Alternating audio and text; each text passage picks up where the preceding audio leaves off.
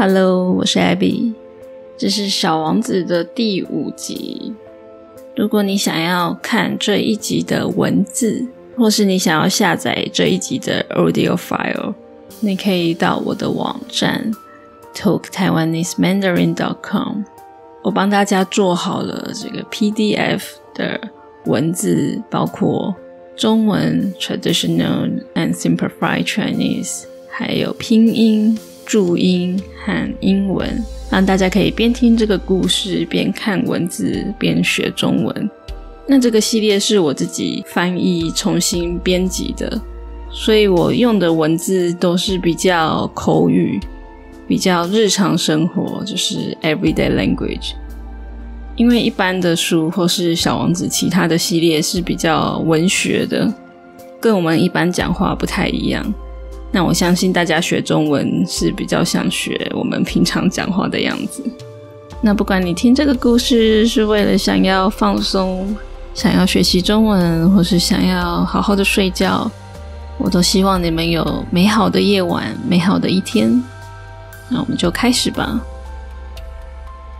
《小王子》第十一章。第二颗星球上住着一位爱慕虚荣的人。啊，有个仰慕者来看我了。他大老远看到小王子走来，就大叫。对爱慕虚荣的人来说，所有人都是他的粉丝。小王子说：“早安，你戴的帽子真奇怪。这帽子是用来回礼的。”爱慕虚荣的人回答：“有人为我欢呼时，我就举起帽子来回礼。可惜，从来没有人经过这里。”啊，真的吗？小王子搞不懂他在说什么，请你拍手。爱慕虚荣的人对他说：“小王子开始拍手。”爱慕虚荣的人举起他的帽子来表示回礼。这比刚才拜访那个国王好玩多了。小王子心想，然后又拍起手来。爱慕虚荣的人又举起帽子回礼。五分钟后，小王子开始玩腻了这个单调的游戏。要怎样才能让你把帽子放下来呢？但爱慕虚荣的人没听他说话。爱慕虚荣的人只听赞美的话，其他都听不进去。你真的很仰慕我吗？他问小王子。仰慕是什么意思？仰慕的意思就是你认为我是这个星球上长得最帅、最会打扮、最有钱也最聪明的人。可是这个星球上只有你一个人啊！你就行行好，仰慕我吧。我仰慕你，小王子耸耸肩说：“不过这对你来说有什么好处？”小王子离开了。大人们真的很奇怪。小王子边走边想。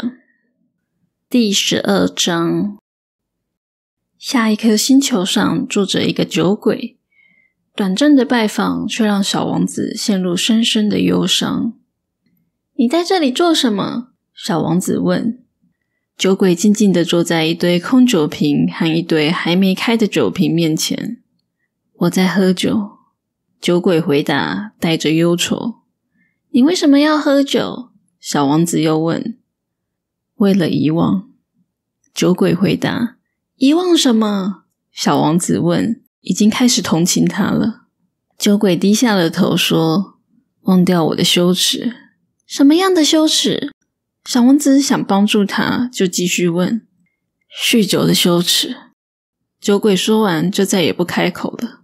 于是，小王子困惑的离去了。大人们真的非常非常奇怪。小王子边走边想。第十三章，第四颗星球是一位商人的星球。这位商人太忙了。连小王子走到他面前，他也没抬起头来。早安，小王子说：“你的烟熄了。三加二等于五，五加七等于十二，十二加三等于十五。早安，十五加七等于二十二，二十二加六等于二十八。我没时间点烟。二十六加五等于三十一。哇，一共是五亿零一百六十二万两千七百三十一。五亿个什么？啊，你还在啊？”五亿零一百万，我不记得了。我有太多事情了。我是个正经人，我不会浪费时间闲聊。二加五等于七。五亿零一百万个什么？小王子又问。只要问了问题，小王子就不会放弃追问。商人抬起头来：“我住在这个星球有五十四年了，我只被打扰过三次。第一次是二十二年前，一只不知道从哪里跑来的金龟子发出很可怕的声音，害我算数算错了四次。第二次是在十一年前，风湿病发作，运动不够，我没时间偷懒。第三次就是这次。”我刚刚说到五亿零一百万，一百万个什么？商人发现，如果他再不回答，就不得安宁了。我们有时在天空中看到的那些小东西，苍蝇不是，是会闪闪发亮的小东西；蜜蜂不是，是会让懒惰的家伙做白日梦的金色小东西。我可是个正经人，没时间做白日梦啊！你是说星星吗？对，就是星星。你拿这五亿颗星星做什么？是五亿零一百六十二万两千七百三十一颗星星。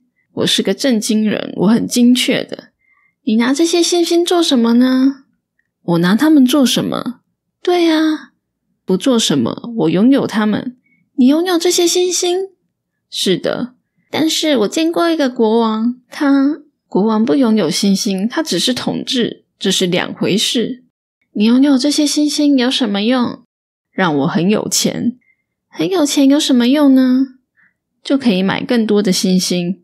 如果有人发现更多的话，小王子心想：这个人的想法有点像那个可怜的酒鬼。但是他继续问：一个人怎样才能拥有这些星星呢？你说星星是属于谁的？商人不耐烦的问他。我不知道，不属于任何人。他们属于我，因为是我最先想到的。是这样吗？当然。你发现一颗没有主人的钻石，它就是你的；你发现一座不属于任何人的岛，它就是你的。你最先想到一个点子，你申请专利，它就是你的。我拥有星星，因为在我之前，从来没有人想到过要拥有它们。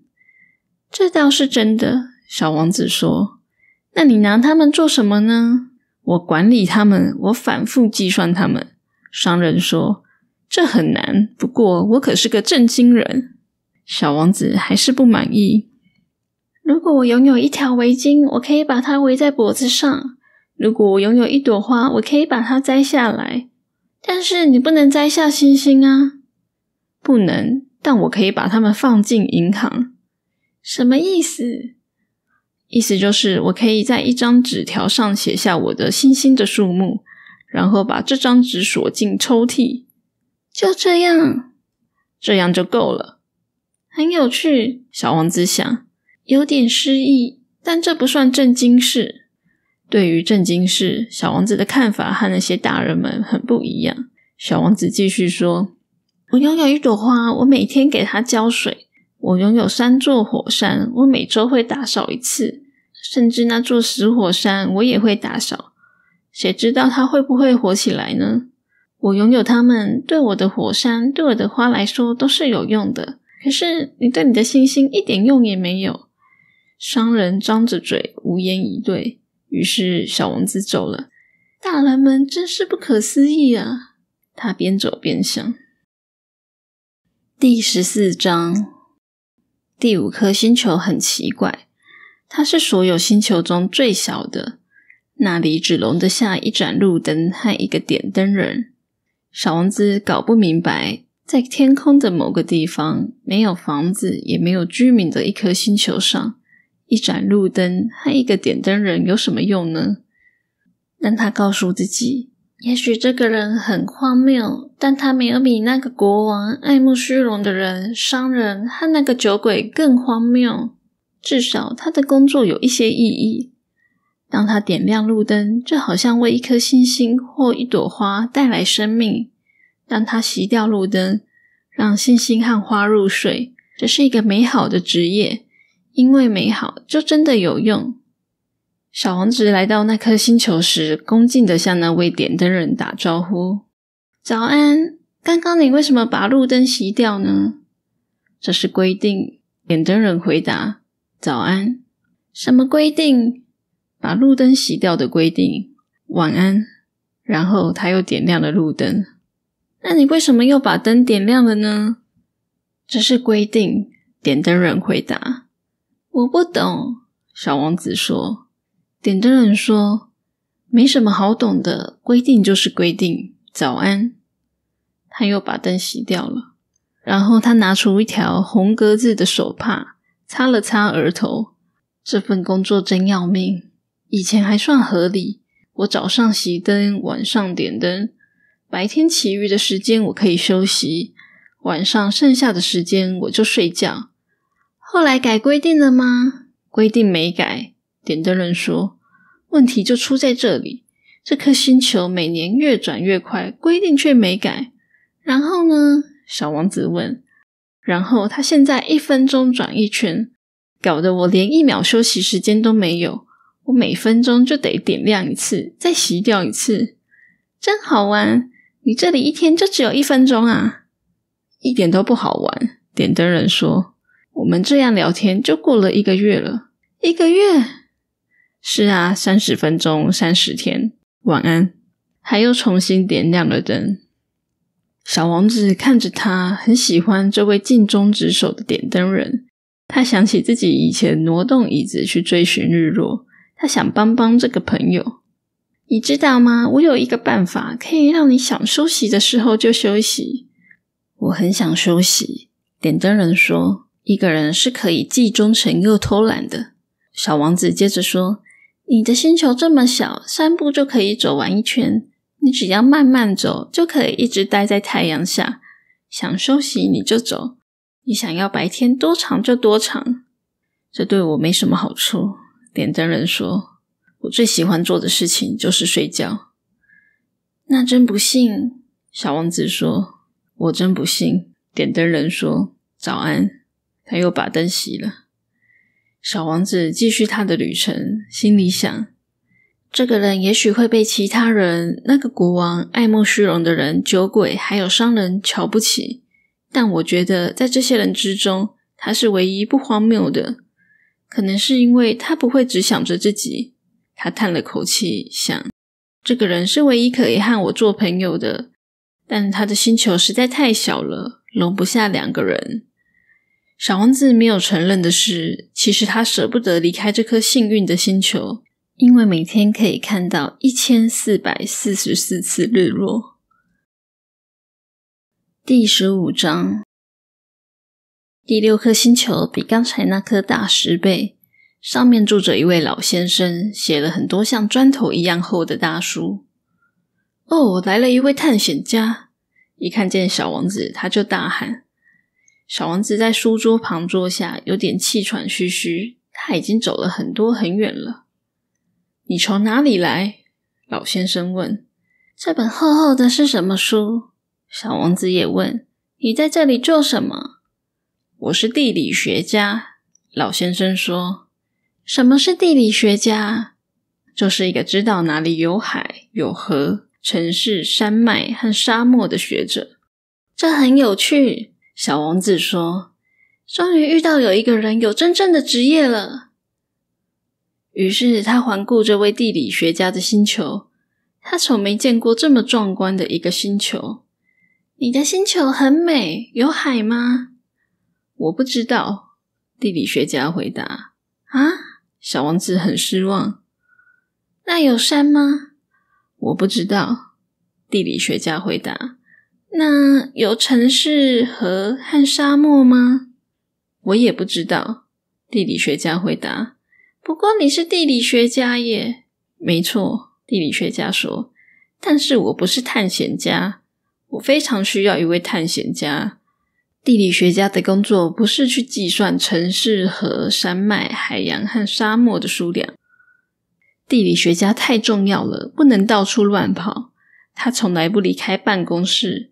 但他会接见探险家，把他们的探险经过记录下来。如果他对某位探险家的叙述感兴趣，就会请人去调查那位探险家的人品。为什么？因为如果探险家说谎，会给地理书带来大灾难。酗酒的探险家也一样。为什么？小王子又问。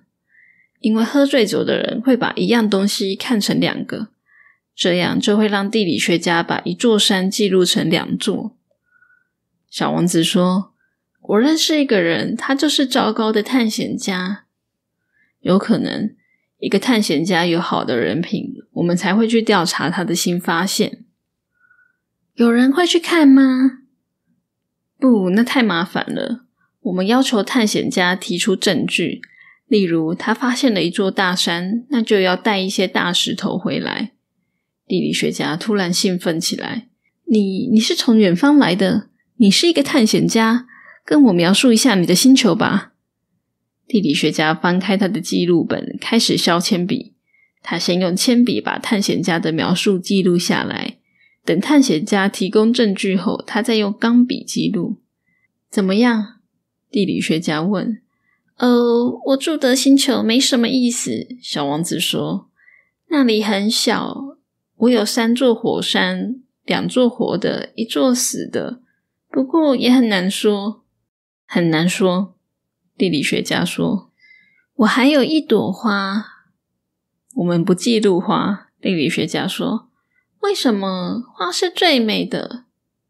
因为花是稍纵即逝的。”稍纵即逝是什么意思？地理学家说，地理书是所有书籍中最珍贵的，它们永远不会过时。一座山很少会改变位置，海洋也很少会干涸。我们只记录永恒的东西。可是死火山会醒过来啊！小王子打断他：“稍纵即逝是什么意思？”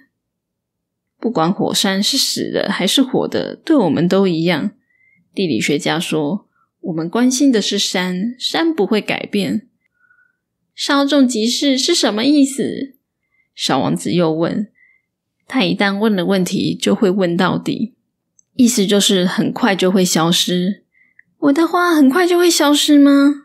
当然，我的花很快就会消失。小王子自言自语。他只有四根刺来保护自己，对抗这个世界。我却把他独自留在我的星球。小王子第一次感到后悔，但他马上又鼓起勇气。你建议我去拜访哪里呢？小王子问。地球。地理学家回答他：“地球的名声不错。”小王子走了，想着他的花。